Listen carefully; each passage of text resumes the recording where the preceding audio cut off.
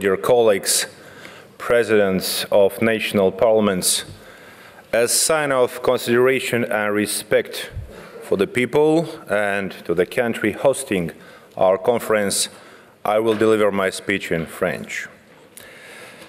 Chers collègues, je dois mentionner que nous, les Moldaves, nous nous identifions en toute sincérité européens. C'est l'une des raisons pour laquelle nous faisons l'effort de nous intégrer dans l'Union européenne, et c'est plus profond que l'enjeu d'une vie meilleure, par exemple? Jusqu'à ce moment-là, la principale preuve institutionnelle de notre appartenance européenne, c'est la qualité de pays membre du Conseil de l'Europe.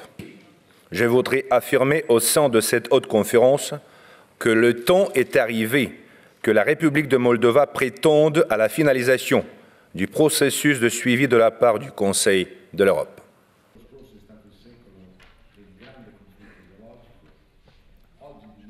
Fase post-moderna, qualcuno già dice post-democratica, i partiti politici sono sempre meno ideologici, sempre rischia di essere meno credibili e l'ultimissima considerazione è la più problematica.